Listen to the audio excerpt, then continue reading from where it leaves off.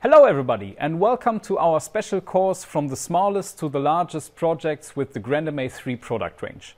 My name is Daniel and I work for the MA Lighting International Tech Support.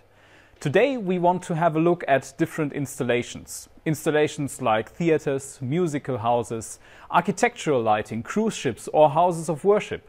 You will see that these installations have a lot of different requirements and issues they come over with and we need solutions for this.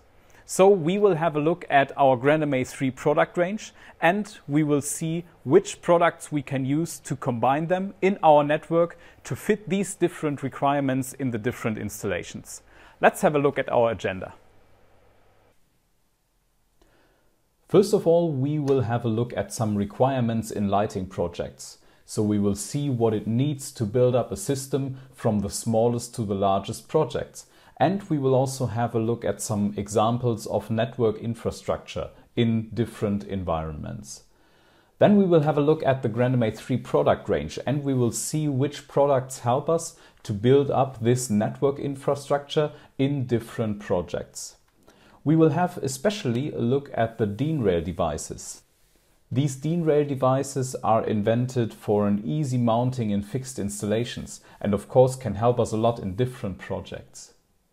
Furthermore, we want to make use of some clever network tools and we will see some tools which the grandMA 3 software already provides us. To improve our workflow from the design via the planning to the lighting control, we will have a look at GDTF and MVR.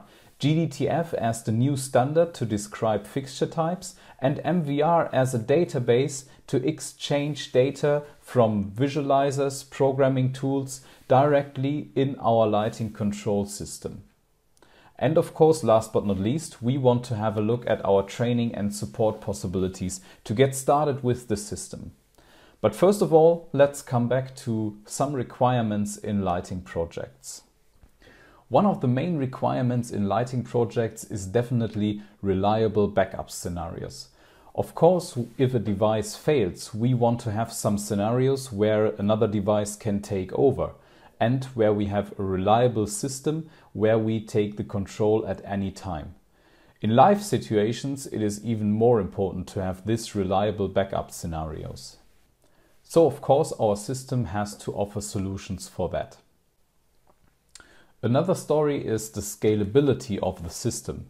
That means we start maybe with a really small system, but we want to be able to add parameters, to add control devices in a very simple and easy way. If our project gets bigger, if we have to control more devices, or if we work with some more users in our environment. And that's already the third requirement. We want to work in multi-user environments. Especially when the projects get bigger, there is not only one operator, one user which controls the whole system. There are different operators for the show lighting, the effect lighting, the key lighting, maybe a control of media servers or other third-party devices. Here we have to make sure that our system offers us the possibilities to work with different users in a multi-user environment. Of course, sometimes we also want to integrate incoming signals to our system, like a remote connection to a third-party system, or we want to remote control or trigger some of our sequences or looks by using some signals like MIDI or timecode or analog remotes. Therefore, our system has also to offer some possibilities in our project. And of course, we want to have one system where we connect control, visualization, video and media. So our system has to take care that it provides the infrastructure to do this. What we need at the end is a complete system integration. Let's have a look at some examples.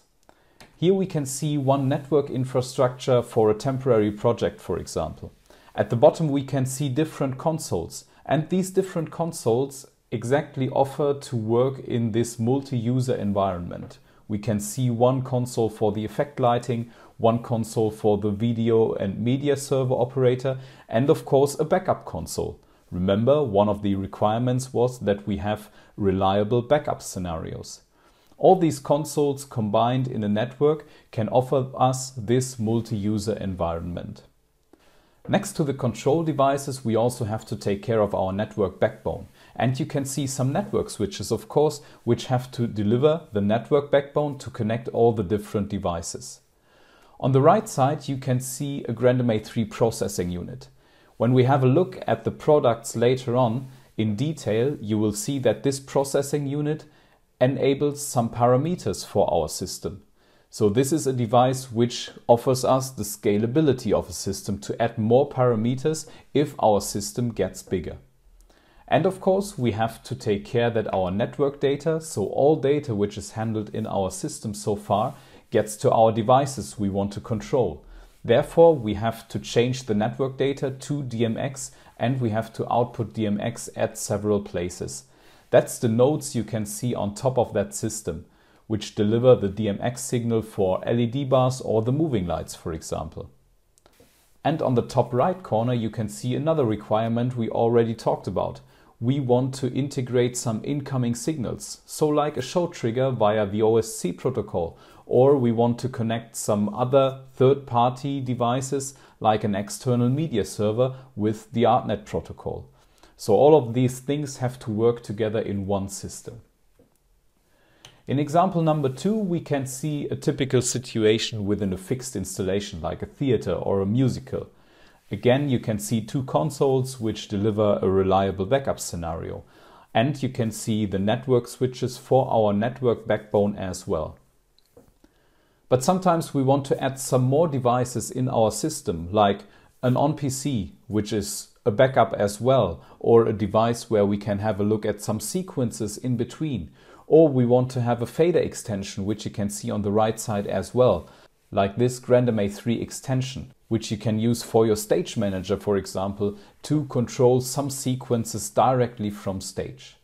And again, on the left side, we have our nodes, which transfer our Ethernet, so our network data, to DMX to the specific places, to our moving lights, to our LEDs, and maybe to some DMX in and outputs on our stage.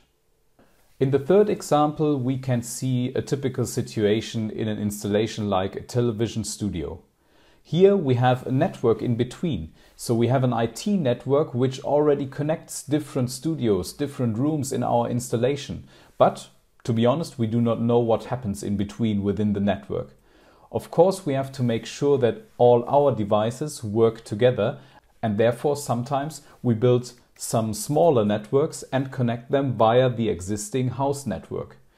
Then of course sometimes we have to get support of our IT guys within the house, but we have to make sure that it works.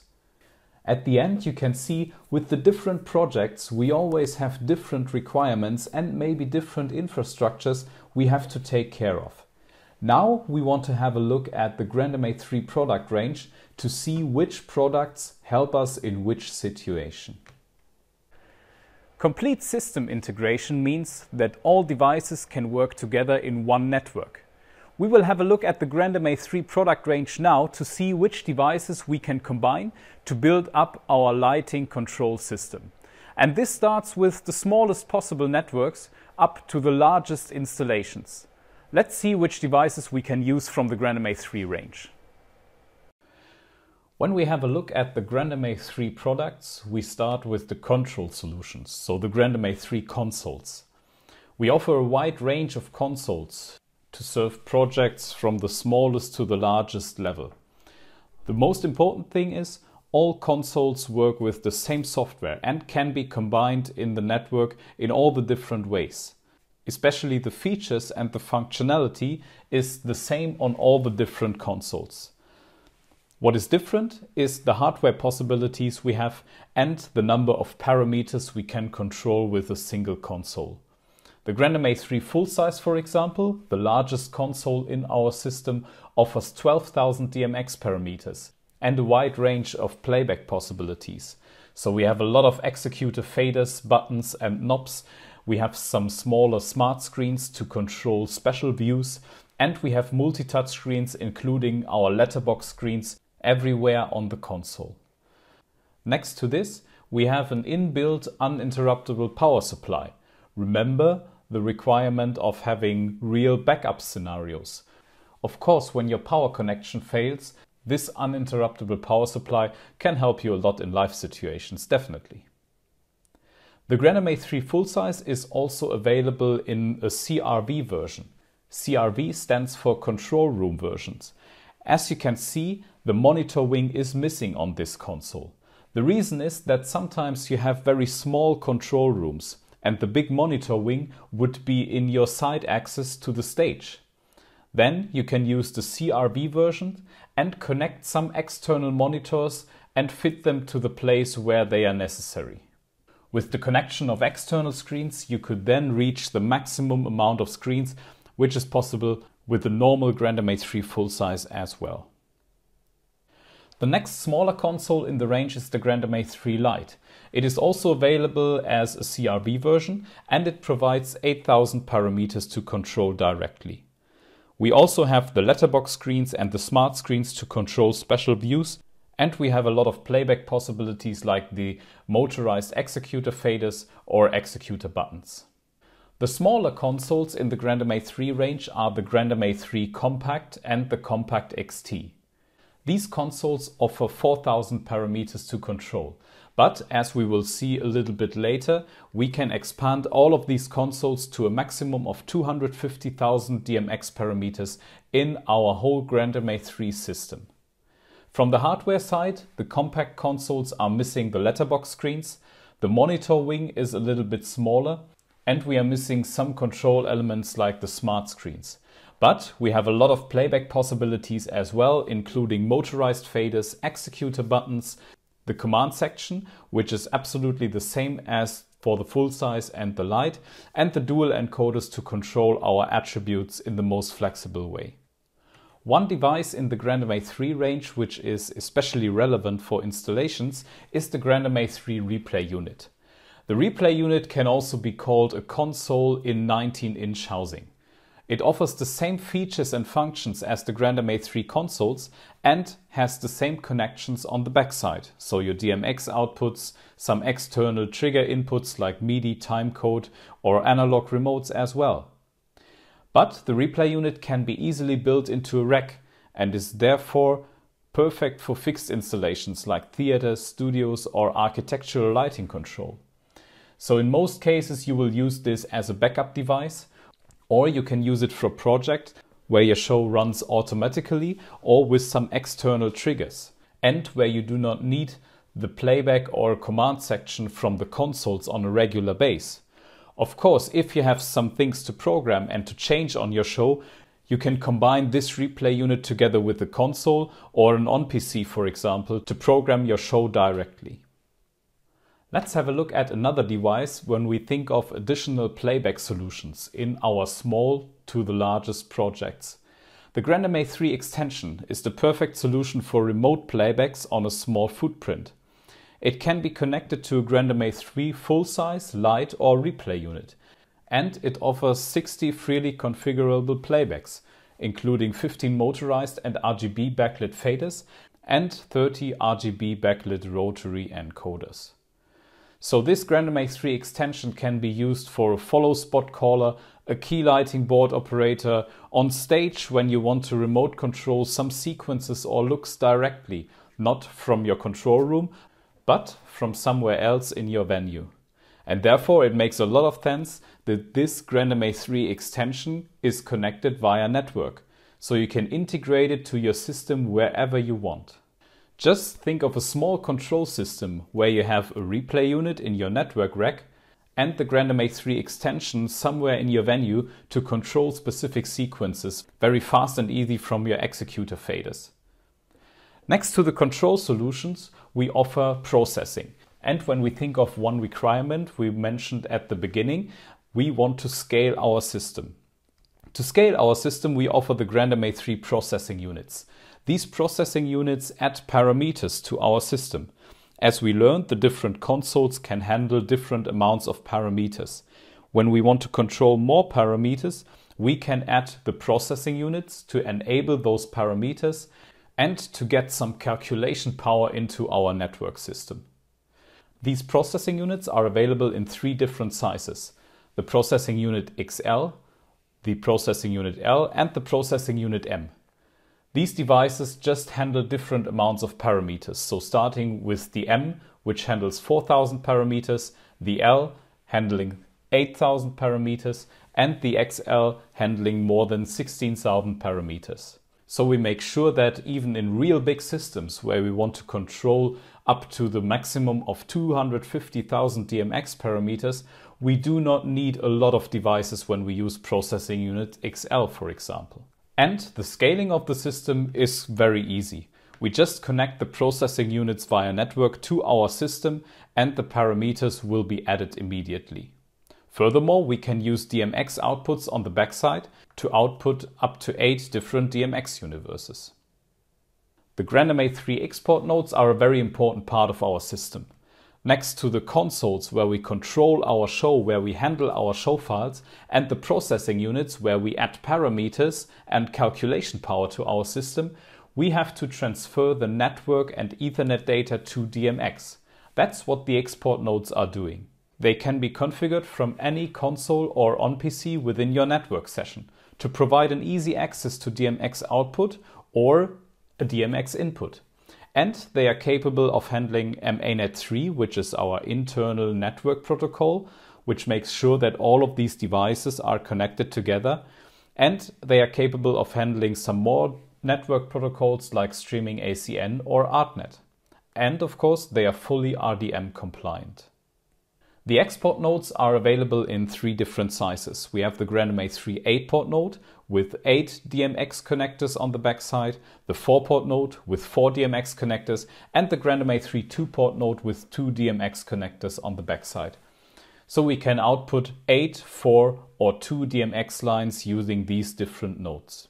A real outstanding fact of these nodes is that they are available as a PoE version, so a Power over Ethernet version as well. The grandMA 3 nodes are available in a DIN rail version as well. This DIN rail housing allows for easy mounting in fixed installations. You can see that the DMX data is connected via terminals and this device is capable of power over Ethernet. The DIN rail devices offer a housing which is especially built for mounting in fixed installations. So it is the optimized housing for easy and time-saving mounting in fixed installations of any kind. They are available as 8-port, 4-port and 2-port nodes as well. So these nodes are the perfect solution when you want to mount them in your fixed installation racks. Next to the bigger system, we offer some on-PC solutions as well. In general, the on-PC solutions also work in a bigger system, so we can combine this with larger consoles or the processing units as well. But we can also use the on-PC solutions in a standalone on-PC system, where we can control up to 4000 parameters then. Especially the grandMA 3 on-PC Command Wing XT and the grandMA 3 on-PC Command Wing offer the same command section as the larger consoles, with a lot of playback possibilities as well. We just combine these devices with the freely downloadable grandMA 3 on PC software. This software is available for macOS or Windows 10 and offers the same feature and functionalities as the grandMA 3 software on our consoles. So we can combine this on PC software together with all the different on PC devices to build up a smaller system as well. Let's have a look at one of our examples from the beginning again, where we can see how to connect all these different devices. You can see the grandMA 3 consoles at the bottom, which is a main and a backup console. You can see the grandMA 3 on PC on the right. A grandMA 3 on PC can also be a backup solution for the console. The good thing about the grandMA 3 network is when a console fails, then all the parameters are existing in our network session. And even with the grandMA 3 on PC, we could then back up a session with up to 250,000 parameters. You can also see the grandMA 3 extension for our stage manager on the right side again, and on the left side our nodes, which take care of outputting our DMX signal directly to our fixtures. Now we talked a lot about the different products and of the combination of the different products to build up our lighting control system, starting from the smallest to the largest lighting projects. But now we want to make use of clever network tools. We are working in a network and we are working in a specific infrastructure depending on our project. And of course, we need some software solutions which provide us some clever tools to control and maintain our network and our system. Therefore, we have some things in the grandMA 3 software. First of all, let's remember one of the requirements we had at the beginning. We want to work in multi-user environments. In the grandMA 3 software, we can see we can have different users. And these different users can be created by the persons who work on the system, or they can be created for the different applications. So there could be a user for the system, a user for the show light, and a user for the key light, for example. And all of these different users can use different user profiles. And within these user profiles, we can find a lot of default and personal settings. First of all, the views. So all the views with all the different windows we create on a console will be stored in our user profile. So we can really personalize our working space in our console. That means we can also import and export these user profiles. That makes it possible when we come to the venue and we work on a console where we never worked on before, we can simply import our user profile and the console views and windows will look exactly like we are used to work. A very clever network tool when we think of organizing our show are multiple stages in the patch. When we have a look at the patch, we can see that on the top right corner we can change between different stages. These stages could be used for different areas of our TV studio, for example. Or we have a small festival where we want to control everything from one show file, but divide it to different stages. We can make use of these different stages in our 3D visualizer later on. So we could have one 3D for stage 1, another 3D for stage 2. Or we have separate areas like an LED wall, for example, we want to separate from the rest of our patch Therefore, we could use the separation into different stages as well. The next thing is a real game changer in grandMA 3 because it is a new protocol for the MA lighting systems we implemented in grandMA 3. It is OSC, Open Sound Control. This protocol was originally invented within sound applications to synchronize different devices. But more and more, OSC takes also place in media servers, lighting devices, and all the other things which are relevant for the entertainment control as well. And we implemented this in grandMA 3. So the grandMA 3 is able to send and receive OSC commands to synchronize to sound consoles, media servers, or other elements within our show network. A small but very helpful tool is the session key to protect our network. Imagine you have created your lighting control system and all the different devices like your consoles, processing units and so on are working together in your network. And you want to make sure that no other console can join this session during a live situation because you do not want to interrupt your system working. Let's have a look how it works. We have an overview of our network session here and we can create some keys. And per default, all the consoles have the same session key. So normally you could connect all the consoles together in a network and work in a network session. But you can create new keys on your own. You can edit them, you can change them, you can just simply type in words. So this is my key, for example. And the console will take care that you get a hexadecimal key you can import and export.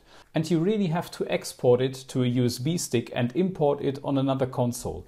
Only when the original key is imported, this console will be able to join your network session. Which is of course a very security relevant question. When we think of festivals or external control from third-party system into our network, the input priorities will be a big help for us we can set input priorities for all incoming DMX signals, like an ArtNet input or a streaming ACN input to our system. Within the network protocols like ArtNet or streaming ACN, we can find input priorities on the far right side. And these input priorities are exactly the same priorities we have with our playbacks as well. So we can compare the incoming ArtNet or streaming ACN signal with our internal playback priorities. That is a big help when we got external control and we want to avoid that an external system can control specific sequences or specific fixtures, or if we want to make sure that this external system can control all of the fixtures independently from our running playback. Therefore, we can select the input priorities here. Another really powerful tool when we think of multi-user environments are data pools. Data pools can be called a show file within a show file. Think of the following situation. We are programming the show for a festival, and the guy for the main act pre-programmed his show. And of course, when he pre-programmed his show, he starts to program with group number one, and he has a color preset number one and two, and position presets, starting from position preset number one as well. Also, you have some playbacks, and of course, he normally started with the first executor on the first page. But now the lighting guy from the support act comes around with his show file. And what did he do? Of course, he also pre-programmed using group number one, color preset number one or position number one. Normally in these situations you have to take care of merging the show files in a correct way so that everybody gets his groups and presets and playbacks afterwards on specific pages. With the data pools we simply create a show file within the show file. So the patch and 3D data is exactly the same. We just switch the data pool and you can see the other data pool provides a new set of position presets and color presets and groups and even the playbacks can be totally different. So each user could use his own data pool. It's really the show file within a show file. So really powerful tool in multi-user environments. And last but not least, when we think about remote access to our system, we have a new web remote without borders. The web remote in grandMA 3 is browser based. So you simply use a web browser, you type in the IP address and you can connect with the console or your on PC. And you can see you have exactly the same views as on the console or the on PC software. So there is no limitation in using the web remote. We can have a look at the color picker, we can control fixtures, select them, adjusting the color, using the encoder bar as well, so our dual encoders, and we can store groups, presets or sequences. We can do everything we can do on a real console as well. So at the end, it's not only about the combination of devices and the network infrastructure we use for our smallest to the largest projects, but it is also about some clever software tools we can use to control our network. Next to our product range and clever network tools we can use, we also want to talk about the production workflow. So from the planning to the lighting control. GDTF and MVR can help us with that. These protocols were invented by MA Lighting, Vectorworks and Robe to connect the workflow from the design via the planning to the lighting control. Let's see what it's all about. GDTF is the new standard to describe fixtures, which is already validated by the DIN organization. So your lighting fixtures work every time, no matter if you use it in your CAD planning tool or in your lighting console. GDTF and MVR are free protocols, which are unified and they are developed by industry leaders like MA Lighting, Vectorworks and Robe. You can use the GDTF file to exchange data from the CAD planning tool via the pre-visualization to your lighting console. When we have a look at the GDTF description, we can see that we start with the geometry of a fixture. And this is really important because the raising complexity of the different fixture types.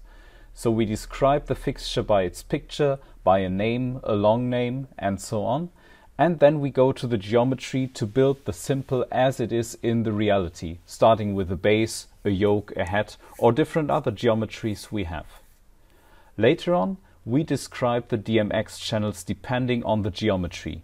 So we take the geometry and then describe the function and the feature and of course the DMX channel. Please find more information about this at the webpage gdtf-share.com, where you can also find the GDTF fixture share.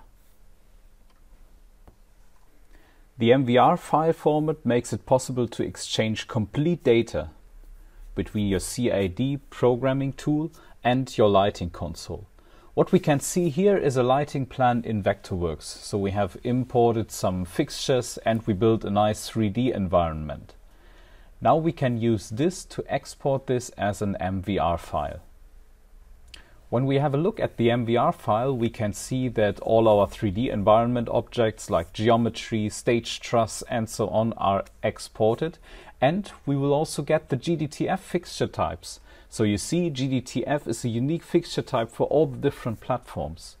We can export this all together to save it in an MVR file. Now we have a look at our GrandMA 3 software where we can import GDTF and MVR natively. So in our patch we just import the MVR file we already exported from our Vectorworks planning tool and all the different objects all the geometries, all the stage elements, all the trusses, and all the fixture types, including the GDTF fixture description, are imported as well.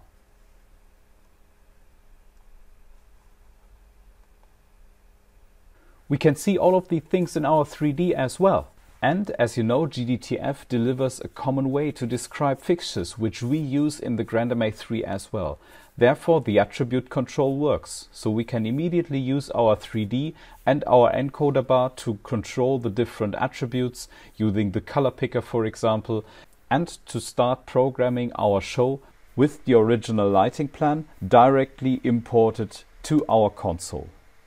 And the great thing about MVR is that this is bidirectional, so we can export it from our console if we made some changes in the patch to get this back to our planning tool as well.